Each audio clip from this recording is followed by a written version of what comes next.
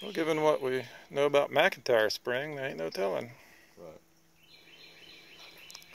Except their dynamite or whatever may have collapsed whatever tunnel there was.